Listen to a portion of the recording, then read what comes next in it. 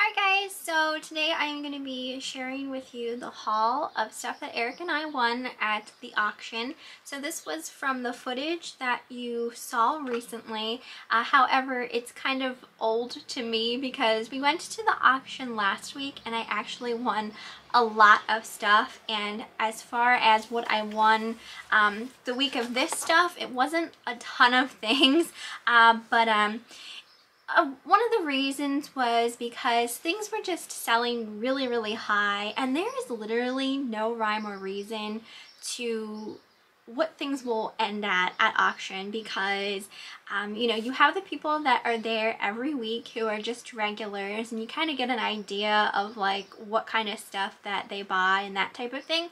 And then other times you see people there that you know you've never seen before. So it just all depends on who is there and what they're interested in bidding on as to you know what things will go for. So and also the week that we went um, from that last footage was um, it had only been like a few days since we had put our dog down and we were still really really upset and we didn't even actually stay for the whole auction. We had to leave early because we just weren't feeling it. Um, today I think I only cried once so far. I've been crying still like every single day uh, but I don't want to talk talk too much about that.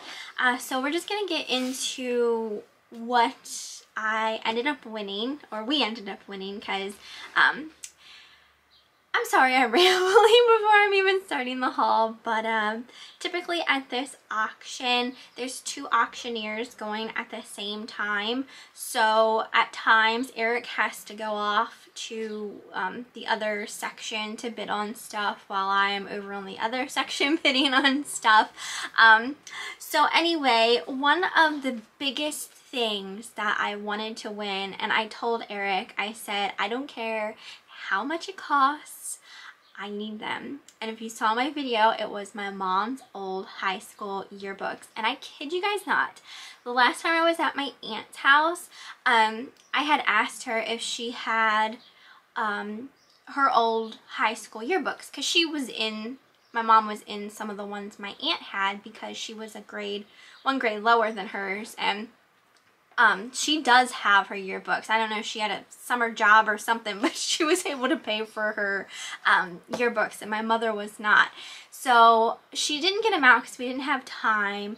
And then what do you know, at the auction, they have every single one of my mom's high school yearbooks except for her senior year. But I have her senior year. That was the only yearbook she actually purchased. And a funny thing about my mom is she always hated getting her picture taken. Um, she was like that her whole life. So when she was a teenager and even into her adult life, she just hated getting her picture taken. So there's one yearbook where she's literally not there. Um, she told me uh, that she um, didn't go to school that day because she didn't want her picture taken. And even my aunt said too, she was laughing about it. She said that she um, played hooky that day, so she didn't have to get her picture taken. So anyway, again, as I was saying, no rhyme or reason, they had two, they had two of her freshman this was her freshman year. Um, it was 1971. So let me find this on my paper here. So I was hoping that they would auction off the entire stack of yearbooks since they all, you know, were obviously the same school. But for whatever reason, they decided to do these two separately. Um, I obviously only wanted one of them. I didn't want both. But I did end up winning these two at a price of $12.50. So well worth it for me. She's actually in this one. This, like I said, was her freshman year. Um, but now I have another and my aunt already has this one. So I'm probably going to, I didn't list it yet, but I'm probably going to list it up um, on eBay since I don't need it. I just hope there doesn't come a time in my life where I regret doing that if something were to happen to the one that I have. So then I did win her other two. So it was the 1972 and 1973. So one of them she's not in, but my aunt's still in it and as well as like my mom's school friends that I knew um, even through her adult life. So these two I won at a slightly higher price of $22.50 I paid for the two of these. So like I said, I was willing to pay whatever I had to for them because I wanted them that bad. Uh, so it was so awesome to find those. I just, it was so weird. Like the whole time I was there, like everything I was looking at, like I felt like she was there. Like her high school yearbooks, there was things I was seeing of, um, you know, where she used to work. Uh, there was a pair of shoes and I think even a purse of her favorite brand. It was just, it was crazy, like everything that I was seeing. So I was so excited that I won those. Uh, next thing, Eric won this for me. Look it. Oh my gosh, I absolutely love this thing. I love, I say the word creepy, but I mean that in an endearing way. but this creepy little plush, he's got the saddest little face. Oh my goodness. So this doesn't have a tag. When I did a search for him, it it was showing similar teddy bears um, by Knickerbocker, pouty face, sad face teddy bears. Um, but these older stuffies, especially when they have rubber faces, kind of like the Rushton ones, can sell high. So I just, I wanted to get him and just see what would happen. He did have um, a little issue here where it looks like it, he was loved a little too much and his leg had to be repaired slightly but Eric won him at a price of just $4 and I do have him listed on eBay. I listed him on auction with a starting price of $89.99. Like I said, these old stuffies can sell really high um, and it definitely seems the ones with the rubber face are more desirable regardless if they're Rushton or not. Um, so there were like two other creepy old um, just vintage antique stuffed animals. I really wanted those as well, but they sold for so much. And they were on the other side of the auction. So had they been over on the other side, I probably could have gotten them for like way cheaper. Um, but it just goes to show that I'm not the only one out there looking for these um, creepy, cute plushies. So, but I won him at $4. I thought that was a great deal. Uh, let's see. I won this little piggy bank.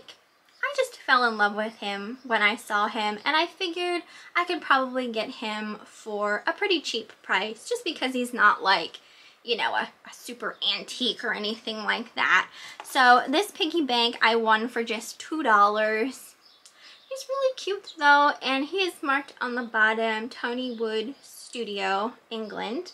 And he still has a stopper as well, which is obviously nice when it comes to piggy banks because a lot of times you come across piggy banks and they're missing their stoppers. So I do have them listed on auction at a starting price of $19.99. I went with an auction because the other items that I was seeing by this brand were mainly teapots. Like there was this pig as a teapot, but I didn't see any banks. So I thought maybe that was Eric. I thought maybe, um, you know, he'd be a little desirable since was a bank instead of a teapot type of thing. So the week prior when I went to the auction, I ended up winning two Limoges trinket boxes and those both did so well. You'll see those um, in, you know, a cha-ching at some point.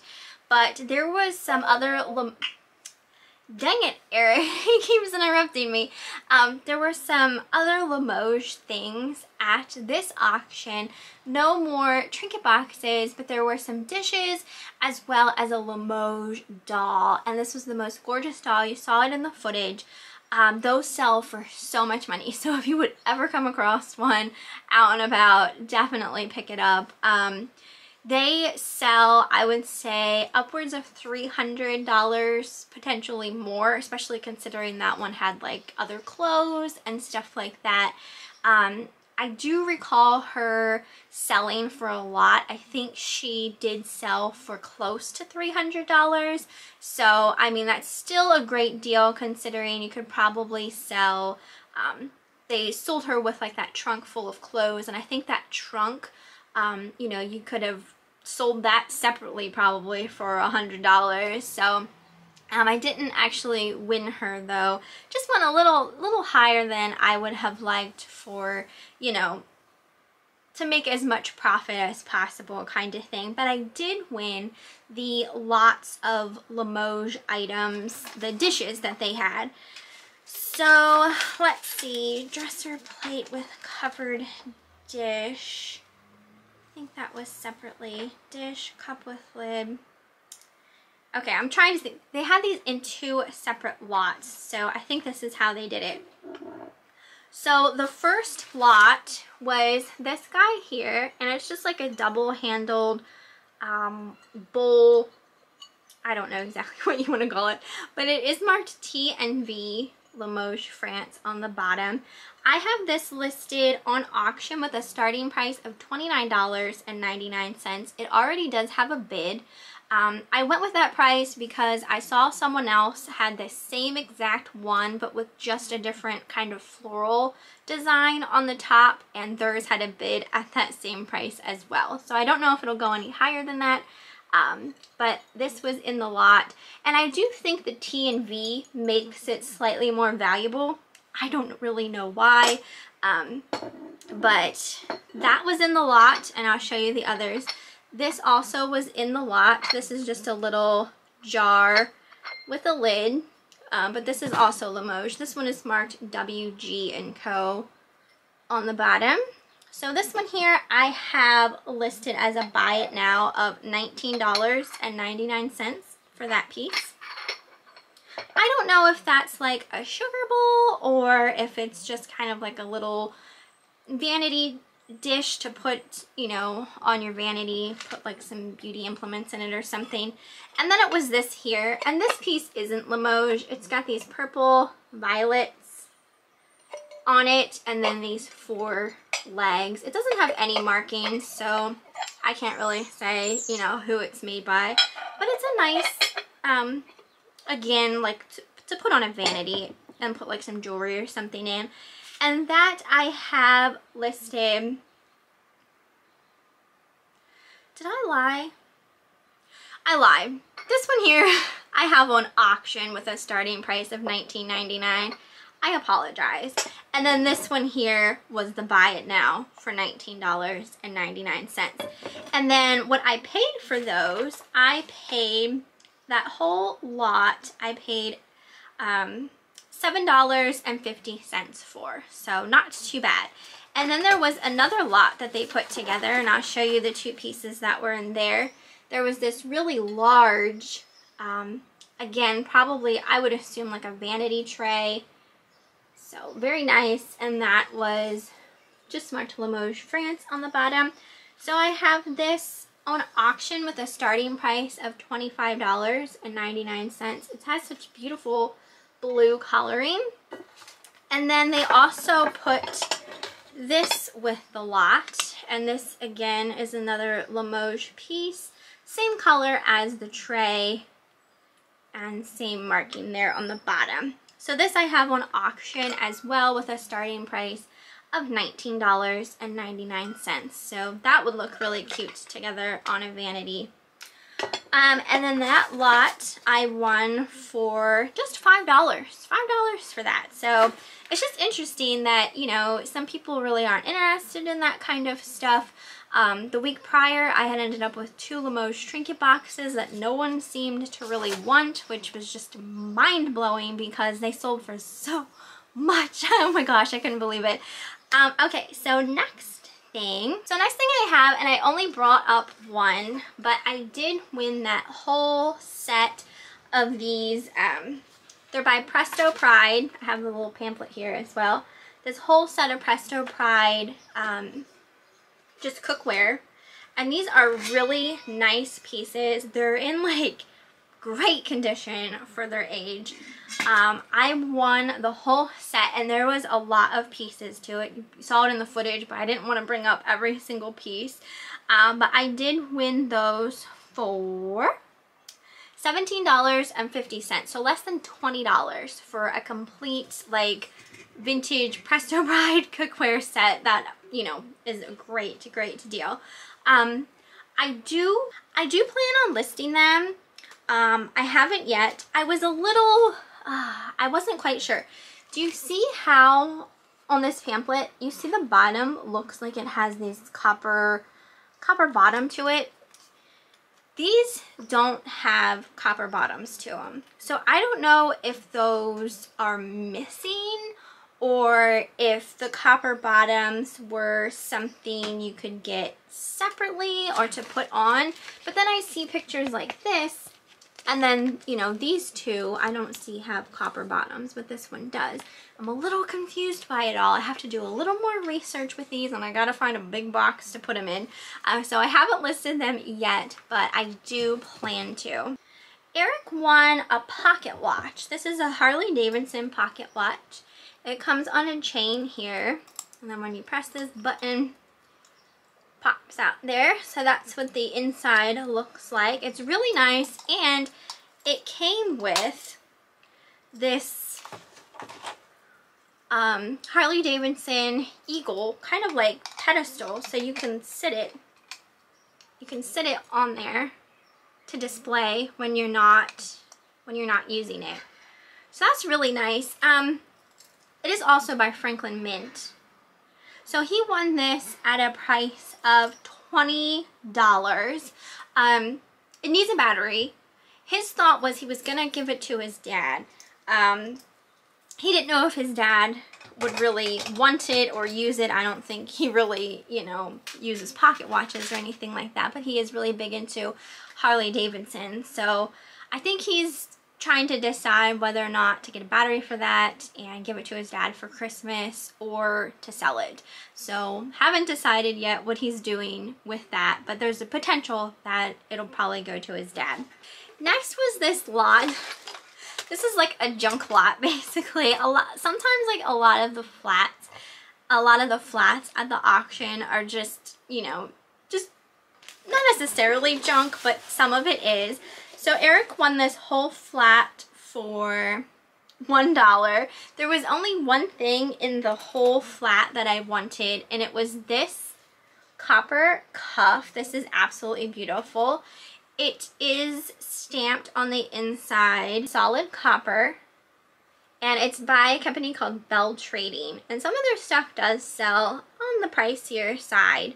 So pretty much I paid a dollar for this, and I have this currently listed on auction with a starting price of $25.99.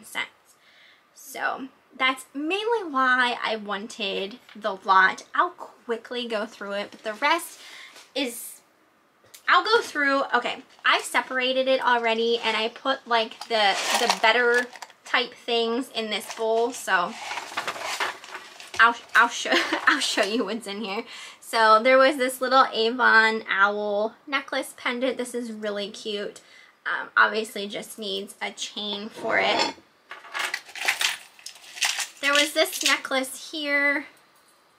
It's just um, like a strand of silver hearts. Doesn't have any markings. Um, we got this pin here. I don't think it has any markings, or at least nothing that I can tell what it is. Um, there was this pin with no markings. There was this little necklace pendant, no markings.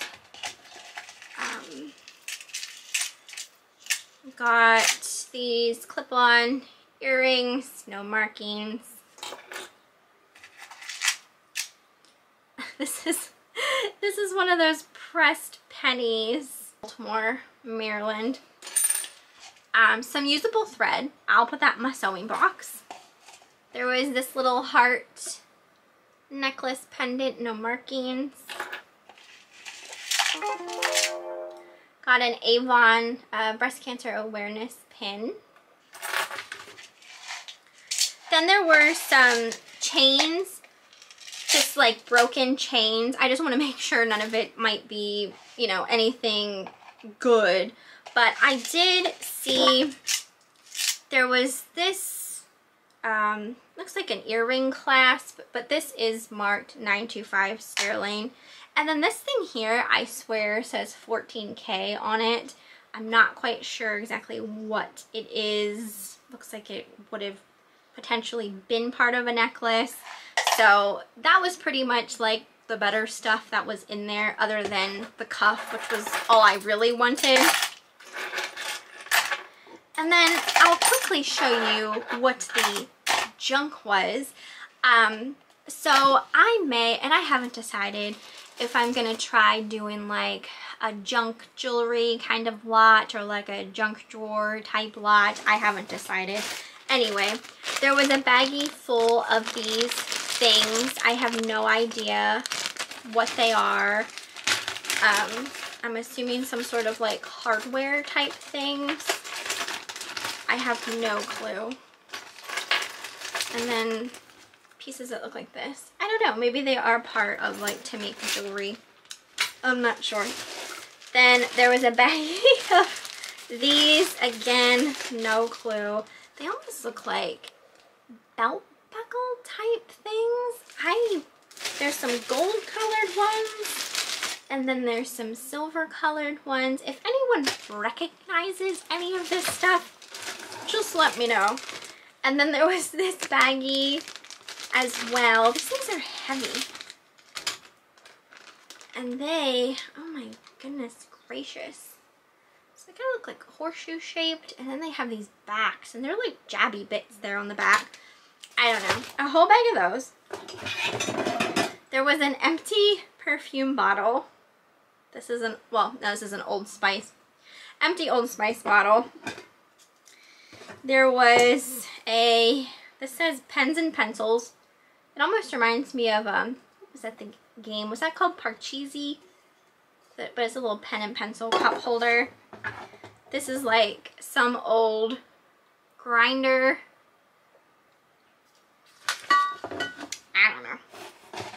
Um, let's see.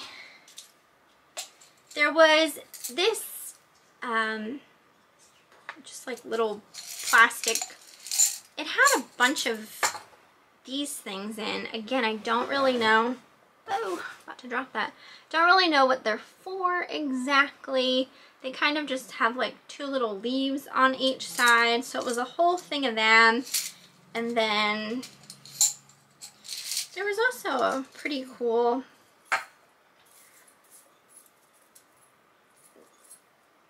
where is that guy? Yeah, like a little sword. see. Got a little sword there too. All right, and then the last thing was this canister. And this is just filled with all of the jewelry that was um, broken. Like it's just a mishmash of just broken jewelry and nothing that I think is anything too fantastic. So like I said, I may do like a junk jewelry type lot um, of just like, because I have some like a decent amount of just old broken jewelry. So just to get it out of here, I may do something like that for anyone who like is into like the crafting thing and that type of thing. My Alexa's going off. Alexa, what's my notification? Okay, so next flat we have Eric won for $1.50. So I wanted this flat because there were some old magazines in it. Um, they weren't, I don't think were going to be worth like a lot of money or anything like that, but I just wanted to look at them myself. So I did end up putting all of these magazines together in a lot. And I have these, I have these listed for I have them on auction for a starting price of $19.99. So was this Twiggy magazine. This is from 1967. And then this one is missing the cover. It's this whole lot of ingenue vintage teen magazines. So they're all from 1969 except for one that was 1970. So I'll just show them real quickly. So, so super fun. I just loved looking through at all of the pictures. I'll open one up here in a minute so you can see some of the advertisements that were inside. So let's just take a look at this one. Here's a spread and then there's like a little pamphlet down there of like um, do your own thing things. Cute.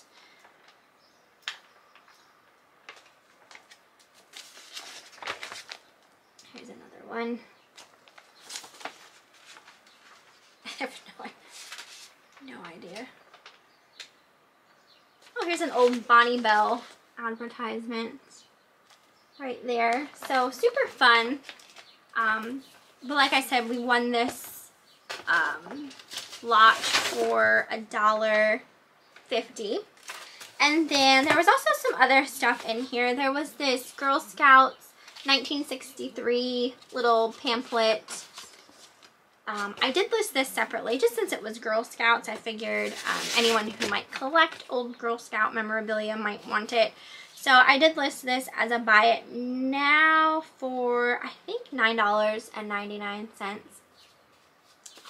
And then there were these old, um, just different pamphlets. I have these listed as a lot, I believe also for $9.99 buy it now. So there's a little Libby's. Um, this one is Kitchen Fun uh, with Libby's canned meats. And some of these do have recipes on how to be well groomed from heel to toe. That's by Johnson Wax. Easy to make gifts for the small budget. That is also by Johnson Wax. Right Eating Keeps You Swinging. That is by Carnation. And then this one is Gelit um, by Knox Gelatin. So that one was from 1963. So lots of great, oh, and this one even has a little note, I guess, that went home from the school about hallway monitors. So that's kind of neat that there was like an old, it's from September 1964, it's marked. So I'm just going to keep that in there, just in case anyone is using these things for like junk journaling or that kind of thing, then they have a little something else little fun surprise in there for them. Um, this went with my Presto Pride. and then there were, the rest was all of these older, they're called Senior Scholastic from 1969. So they were all like, I guess, current affair type things. Um, like a magazine of like current affair for, you know, kids. Well, like high school kids, I should say. Um, so these aren't really worth anything. I don't have these listed. My idea was, and I'm still not quite sure how I feel about this, uh, but there are some old advertisements in, in these. And I was debating on trying my hand at selling the old, you know, print advertisements kind of separately. So like here's one for a Blazer, here's one for a Dodge Challenger. So I haven't listed them yet. I'm still like unsure if I want to even try um, just because I've never done that before. But I know there are people who do sell like vintage print advertisements from like old magazines and things like that. So I'm debate I'm debating on it. So we'll see. And then the rest of the magazine that you know I don't want maybe put together as like a lot of just like craft bits. Like people like old papers and stuff like that. So, you know, maybe someone who is looking for that type of thing would be interested in it for like the illustrations or anything like that. Um, just so I don't throw it away. Like I hate I hate throwing stuff away. Like if it's usable in some way, shape, or form, I like to be able to try and salvage it. Okay. And then the last lot of stuff, Eric won for a dollar. So it was this box. Again, there was only one thing that I really wanted out of the whole box, and that was this can of Vintage Rave Hairspray. I know I always tell you guys, like, vintage beauty products, my, I don't know if that was my hair or not, vintage beauty products can definitely sell well. Um, unfortunately, the sprayer on this is not the best. Like it sprays, but it doesn't come out so much as a spray, more like a stream. So I had to mention that in my um, description. But I have this on a buy it now price of $39.99. Most people have them listed for around $50, but in count of mine not spraying, super great.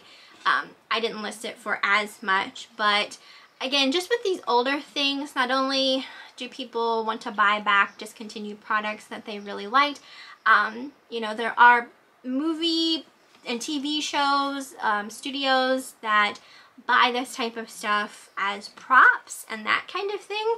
So can you imagine someone's making a TV show or a movie from like the 80s, 90s, and they have a scene where the lady is spraying her hair with some hairspray, you're gonna need a vintage can of hairspray in in the clip. So um, kind of just gotta think of that type of thing too and put prop in your title. I did end up listing this separate as well. This is like a full can of vintage Glade Candle Scents Air Freshener in the scent Vanilla. This is from 1997. They definitely don't make this anymore. So I decided to list that just to see. Um, I put it up on auction with a starting price of $19.99 just to see. I'm not really expecting it to sell kind of thing, but if it does, that would be awesome. So the rest of the stuff I'm either going to throw away, um, potentially maybe list some other stuff or um, see if my aunt wants the hairspray or anything like that. Uh, but I definitely don't really want much else. There was this full can of Aquanet hairspray. I don't really use hairspray and they still make that. This one might be slightly older. I know that they still make it, um, but it's like an older can. So again, maybe depending prop wise, uh, but it's just a suave, but that feels really full as well. Same with this one. This one's a white rain, but they still make that. There was this bottle of Nature's Family Pure Spa Moisturizing Body Wash in white ginger and grapefruit. It's still pretty full. Um, it looks like the little pumpy thing came out. It needs to be screwed back in. Um, but that's by Schwarzkopf. Schwarzkopf. So, I mean, that's like a decent brand. I wouldn't say it's like Dollar Tree, but maybe it is. I don't know. Um, this is an old off insect repellent. I didn't look this up. Um, it's, there's not much left in. I'd say this was from 1982. Wow. So I'll have to look that up and see if that would be worth um, listing as like a prop only type of thing since there's really not much in. There was this Pure Spring Cherry Blossom Lotion as well as a Cherry Blossom Hand Cream. This is full. I'll probably just keep this for myself. A Dove Go Fresh Cool Moisture Cucumber and Green Tea Shampoo. This smells really good. Um, they still make this as well, but it's in a different bottle now. It's not in this bottle anymore. There was also a Creative Sensations Cranberry Hand Cream. That's pretty full, so I might just use that. A little flower uh, candle in a wrapper. And then there was this. This is an Avon um, like bath oil decanter. It's really pretty and I say all the time like a lot of Avon isn't really worth much. There is some that is worth money. Um, this isn't worth anything I don't really think but um, it's so pretty and it's such a shame because like the old Avon bottles and stuff like that were so pretty and so well made. It's just, it's upsetting how, you know, um, just how much it's not worth kind of thing, even though it's like so, so nice. So I'm to actually keep this and I'm to put my, well, after I clean it out, um, I'm to put my own bath oil inside and put it by my tub because it's just that gorgeous. So I'm going to use it for myself after I clean it up. Um, but that is everything for this haul. Like I said, it wasn't as it wasn't as good as my haul uh, the week prior.